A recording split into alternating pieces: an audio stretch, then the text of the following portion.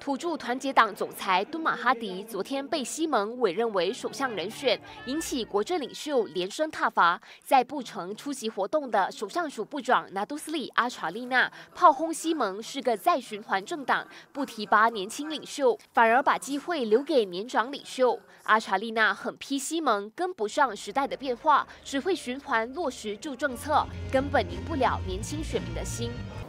Jadi saya kesianlah kepada Pakatan Harapan sebab dia banyak pemimpin kemungkinan yang ada. Saya dalam dalam parlimen tengok ramai pun muka-muka muda yang boleh berbahas, boleh uh, membawa isu-isu. Saya tak tahu kenapa dia tak ketengahkan.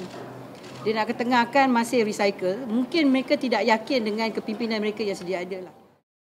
此外，柔佛州务大臣卡利诺丁则是开口祝贺敦马，恭喜敦马成功集结了西蒙。 Saya ingat uh, Tun Mahathir uh, tahniah kerana dapat hijack.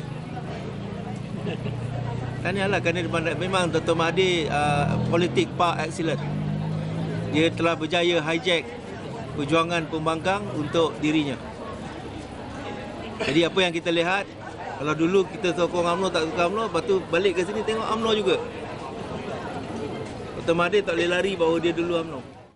马华总会长拿督斯里廖中来也发文告，指民主行动党和敦马的结盟，等于是背叛了上两届大选支持行动党的华裔选民，也出卖了选民的委托。他相信心里雪亮的选民会以手中的一票，向公然背弃人民委托的行动党做出最强烈的控诉。廖中来认为，行动党不应该把华裔选票当作理所当然，公然再次集结民意，打着民主的名义。做尽违反民主精神的勾当，他希望全马华人在来届大选中向林吉祥父子讨回公道，伸张正义。